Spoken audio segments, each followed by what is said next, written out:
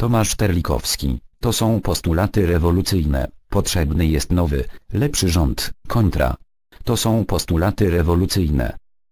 W pełni zgadzam się z tym, że jest potrzebny nowy, lepszy rząd, powiedziała posłanka Komonika Rosa w programie. Gość wydarzeń poparła również inne postulaty przygotowane przez strajk kobiet, prawo do aborcji, refundacja antykoncepcji i usunięcie religii ze szkół.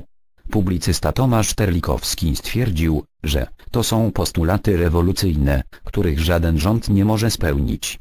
Młodzi ludzie rozmawiają o tym na ulicach miast, boją się o swoją przyszłość, boją się o los, jaki zgotował im Jarosław Kaczyński tym oświadczeniem Julii Przyłębskiej, boją się, w jakim państwie żyją. Domagają się zmian, mówiła w programie, gość wydarzeń, posłanka Monika Rosako.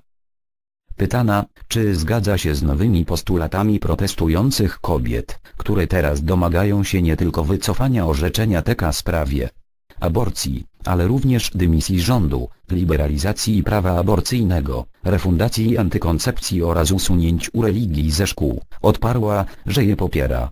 W pełni zgadzam się z tym, że jest potrzebny nowy, lepszy rząd, podkreśliła. Konstytucji nie zmienia się protestując na ulicach prowadzący program Bogdan Rymanowski zauważył, że najpierw te protesty były przeciwko orzeczeniu TK, teraz te postulaty idą dalej. Idą wprost ku zmianie konstytucji, zmianie rządu. To są postulaty rewolucyjne, na które nie może zgodzić się żaden rząd, ocenił publicysta Tomasz Terlikowski.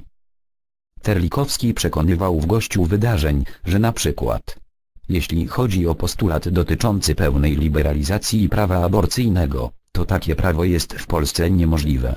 I to nie dlatego, że pani sędzia Julia Przyłębska ITK w roku 2020 podjął taką decyzję, tylko dlatego, że takie orzeczenie wydał w roku 1997 TK pod kierownictwem profesor Andrzeja Zolla. Publicysta ocenił, że zmiana prawa nie jest możliwa bez zmiany konstytucji, a konstytucję zmienia się w inny sposób, niż protestując na ulicach. Trzeba do tego przejąć władzę, zebrać 2-3 głosów w Sejmie i Senacie i jeszcze mieć do tego swojego prezydenta, mówił. Ważny sygnał społeczny protesty są ważnym sygnałem społecznym. Młodzi ludzie mówią, że nie zgadzają się na to, jak państwo funkcjonowało przez ostatnie lata, odparła posłanka Rosa i zauważyła, że nic się nie dzieje z dnia na dzień.